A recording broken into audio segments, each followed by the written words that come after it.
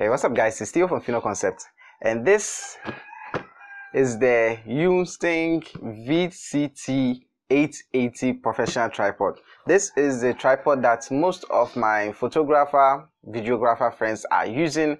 But why is that? Let's find out. So inside the bag is this nice bag that they included and just open it up reveals the tripod also wrapped around in this nice case for us.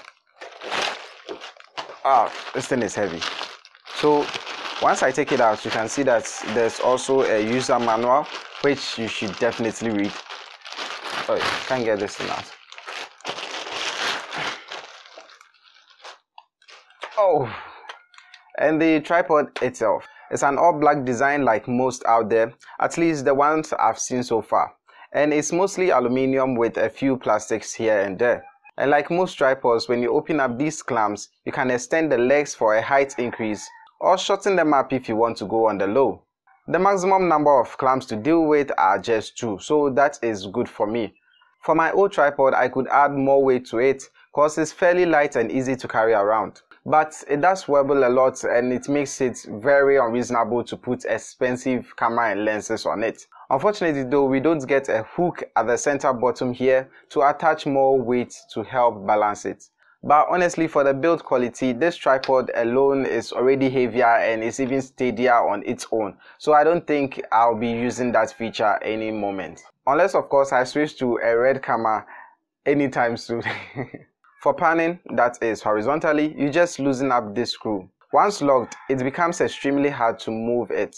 Same goes for tilting, just loosen up the top screw and you are good to go. One amazing feature of this is the fluid 360 degree pan in its office. And if that's not enough, they are graduated on the bottom. Imagine setting a focus or a specific point in your head and then panning to that specific mark without your subject being out of focus. That is super awesome. And these markings are not just for panning alone, tilting or vertical motion is also considered. And just as that, you see the graduation on both the front and the back. The quick release plate is among the nicest I've seen so far. Just flick it on the side up and the plate just pops into your hand. In case you are unsure whether your camera is mounted or not, the simple free lock indication helps as much. Notice this thing right here once pushed down, the mounting plate will remain in the locked position. The remounting is as simple as sliding to the side and pressing down hard on the midsection. The quick release plate uses the quarter inch system so I think you have a fair idea the number of items you can mount on this device. It also feels premium although it's an all plastic design I'll say it passes the build quality and durability test over time. And the cool idea of not needing a queen to always screw this in place is something I missed. This is not the case for most gimbal mounts. You always have to have a coin with you. Take note, this simple trick can save you a ton of time. Sometimes you have everything in order, but the mounting plate will just not lay flat and lock. Well, before you mount your camera, take a second or two to make sure that the screw turner, let's call it that for now, is lying flat. I've had this happen to me once and it was quite frustrating. I kept slamming the camera on the tripod several times trying to get it to lock and it wasn't working because this thing was up. On the side is the integration of a mini level which you can always use to make sure that you are well balanced. And just like every level for camera accessories, it's very simple to follow. Just adjust the legs of the tripod until the bubble stays at the center of the mini circle. For the height, it's rated to be 8 tallest at 165 centimeters, which is about 10 centimeters shorter than myself. But if you decide to go crazy and close up the legs some more, you can go even higher.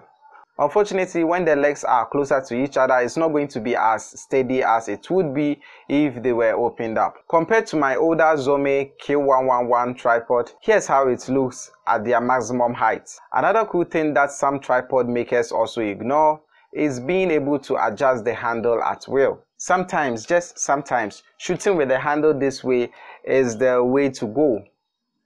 Way. and that locking screw is just in front and away from the shooter. Once loosened up, you are free to assume whichever handling position you feel comfortable with. And even though I love this tripod so much, I wouldn't be using this on the daily. And here is why. Yes, I know this is more expensive unlike the Zomei, but just for the fact that they ignore the side grip, it's a huge bummer.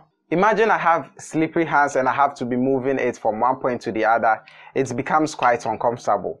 Another thing is, it's quite heavy, 2080 grams, and even though it says lightweight on the box, I think I will disagree with them on this one. And it's for this reason that I think this is not the tripod for you when you just want to go on a morning hike or just want to take a picture of the sunset. So for that, I'll still be using my Zomei tripod, which is lightweight and easy to carry around. And since it's so small and lightweight, I can easily hang it on my camera bag and forget about it. But if video is a priority for you and you don't mind the weight, then this is definitely the one to go for. Last thing, Yunteng also have another tripod that is the 860 which is quite similar to this in a lot of ways. But the feet are adjustable unlike this one. So if you are someone who shoots in the snow or sand a lot, that's some extra protection for you. You can just screw up and dig tiny holes when you fix the tripod down and this should somewhat make it much steadier. So since I've said a lot about the Zomei tripod, let's go for the Zomei, right? Well, not exactly. And by the way, if you're interested in watching the review of the Zomei, I'll leave it up here in the card or down in the description below. But for me, I wouldn't recommend that being your primary tripod. And the reason for this is when it comes to panning or tilting, the Zomei is among the worst I've seen so far. Nothing you record is going to be smooth. And you know what? Just take a look at this footage right here. And with this, I'm trying my possible best to move steadily and smoothly, but notice how much jitters is produced. Almost as if I drank coffee and can't keep my hands steady.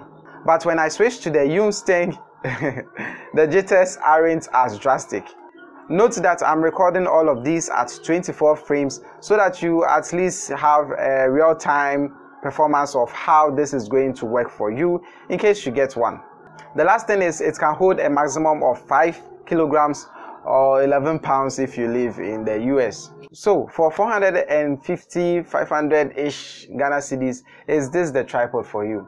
Well, if you haven't decided after watching this video for this long, then let me make it quite easy for you. If you are going to be having two shooters, one main and the other is going to be moving about a lot, then definitely get this one. This is going to be your main tripod, which is going to be stationary at most times then the lower budget ones can be moving about, like the Zomei for example. But if you're someone who isn't so much concerned with the panning and the tilting and the jitters and all of that, and you want something lightweight that you don't have to be worrying about carrying from one place to the other, then this isn't the tripod for you. For me, I'll just say get one as your main, get this as your main, then you can get a budget one for your secondary shooter.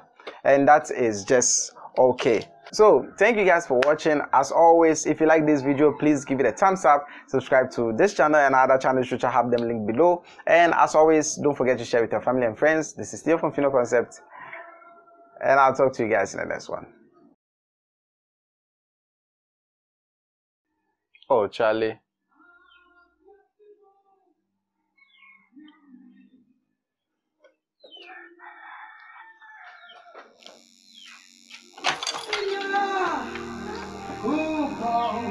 Cocos.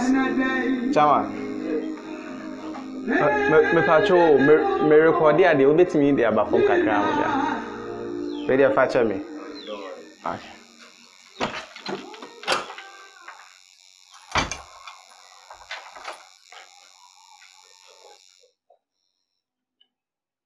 the quick the quick really